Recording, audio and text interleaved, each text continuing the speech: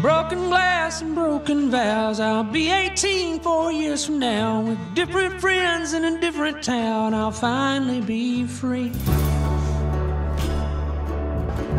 I'm happy to be here. Everything is not good, but I am in the studio. Y'all gonna let me tune this guitar? I'm the one paying for this shit. I won't be satisfied unless this album is an accurate representation of where I am as a person.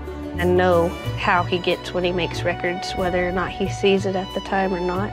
Most people don't go to work with their wife. Amanda gives him honest feedback. I've already went like through this in my brain about. Well, this will just be permanently disagreed with. Just sing whatever you want and then think about it later. No, I want to get it right.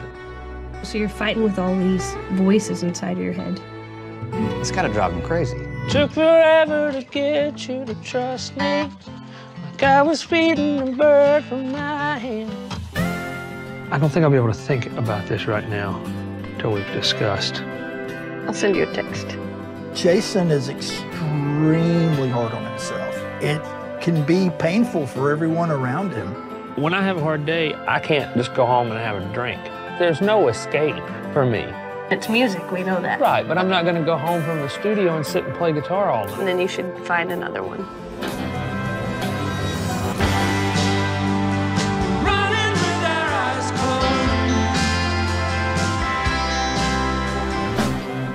Once you learn a song, your mind is not focused on creating. Your mind is focused on recreating. You know, you can only create something once, and if the tape's not rolling, uh, then you're just shit out of luck.